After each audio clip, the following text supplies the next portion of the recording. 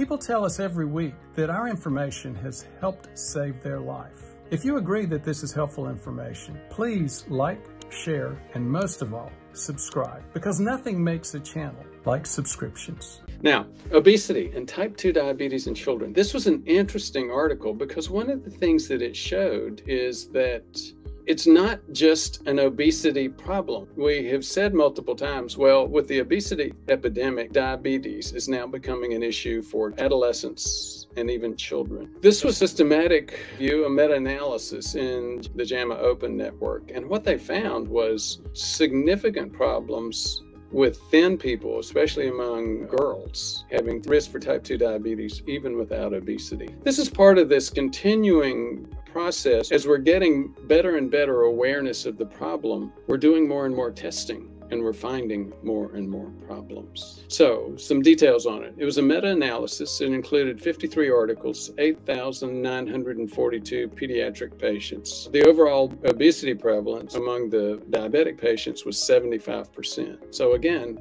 one fourth of these kids were not obese. The prevalence of obesity at the time of diagnosis was 77%. Males had a higher odds of obesity, Asians had the lowest, white participants had higher prevalence of obesity. Skinny people, especially girls, had a risk of type 2 diabetes without obesity. And obviously, genetics is playing a role here. One of the questions that we have, especially with this gender disparity, is how much of this is a muscle and exercise thing? We do know that regular use of large muscle groups in our body provides an escape hatch. It bypasses ailing insulin receptors. But again, it's going to take more time, more digging to find out exactly what's going on.